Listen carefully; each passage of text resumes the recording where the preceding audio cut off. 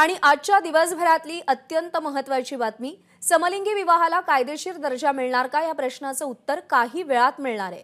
समलिंगी विवाहाला कायदेशीर मान्यता देण्याची मागणी करणाऱ्या याचिकांवर सर्वोच्च न्यायालय आज निकाल देणार आहे. पुढच्या अर्ध्या तासात म्हणजे सकाळी साडेदहा वाजता सुप्रीम कोर्ट आपला निकाल देईल. अकरा मे रोजी न्यायालयाच्या पाच न्यायाधीशांच्या खंडपीठानं सुनावणी पूर्ण केली. सुनावणीमध्ये याचिकाकर्त्यांनी समलिंगी लग्नाला कायदेशीर मान्यता मिळावी असा आग्रह धरला होता. तर केंद्र सरकारनं समलिंगी जोडप्यांना विवाहाचा दर्जा न देता त्यांना काही अधिकार देण्याचा विचार केला जाऊ शकतो असं म्हटलं होतं. प्रशांत कदम आपल्याला या सगळ्या संदर्भात अधिक अपडेट देतील. प्रशांत एका ऐतिहासिक निर्णयाचा साक्षीदार आज भारत होण्याची शक्यता आहे. या सगळ्यामध्ये याचिकाकर्त्यांच्या काय मागण्या होत्या आणि सरकारची काय भूमिका होती?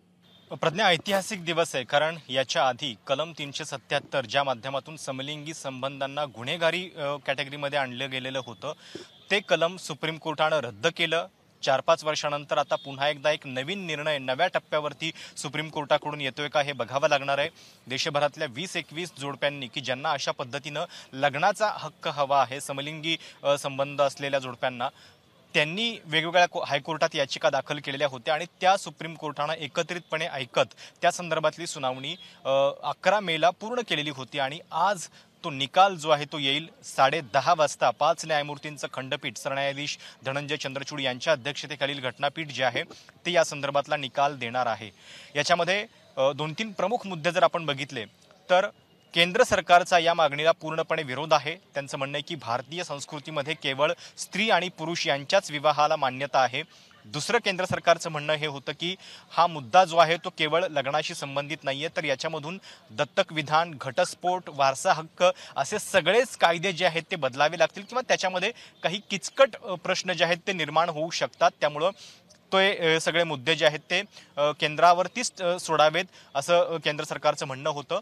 दुसरं म्हणजे एक प्रकारे हे म्हटलं गेलेलं होतं की हा केवळ एका ठराविक शहरी उच्चभ्रू वर्तुळातला प्रश्न आहे.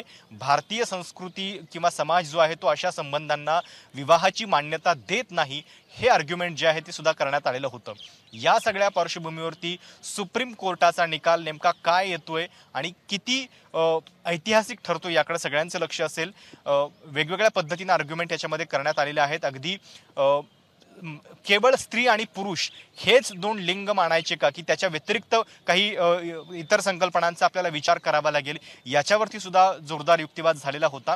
आणि जो काही निर्णय असेल तो ऐतिहासिक असेल याच्यामध्ये काही शंका नाही. प्रशांत या सगळ्यामध्ये आणखी एक महत्त्वाचा मुद्दा की काही धार्मिक संस्था किंवा जे धार्मिक नेते आहेत त्यांनी या सगळ्याला विरोध केला होता. भारतामध्ये विविध धर्मांची लोक राहतात. कोणाचं नेमकं काय मत आहे आणि विरोध काय? मुळामध्ये समलिंगी संबंधांच्या बाबतीत अशाच विरोधाची भूमिका याच्या आधीसुद्धा घेतली गेलेली होती. पण सुप्रीम कोर्टानं कलम तीनशे सत्याहत्तर जे अगदी म्हणजे शतकापासून चालू होतं ब्रिटिश काळापासून ते रद्द केलेलं होतं आणि त्याच्यानंतर एक वेगळा टप्पा जो आहे तो सुरू झालेला होता. आता भारताशिवाय इतर अशा अनेक देशांनी समलिंगी विवाहांना मान्यता दिलेली आहे. आपल्याकडे ते होतंय का हे बघावं लागेल की केवळ त्यांचं डिक्रिमिनलायझेशन आहे तेच पुरेसं आहे आणि त्याच्याशिवाय त्यांचे जे इतर राईट्स आहेत त्याच्याबद्दल काही तरतुदी सुप्रीम कोर्ट करतं हे बघावं लागेल. ज्या धार्मिक संस्थांचा आपण म्हणतोय तर संस्कृतीचा असा असा दाखला जो आहे तो इतर अनेक उदाहरणांमध्ये दिला गेलेला आहे.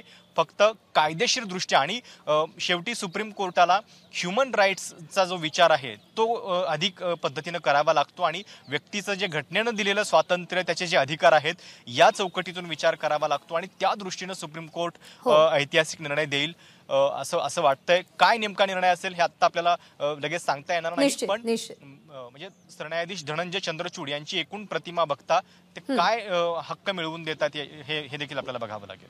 प्रशांत या सगळ्या संदर्भातले सुनावणीचे प्रत्येक अपडेट तुमच्याकडून जाणून घेत राहू. सध्या धन्यवाद दिलेल्या माहितीसाठी. एबीपी माझा. उघडा डोळे बघा नीट.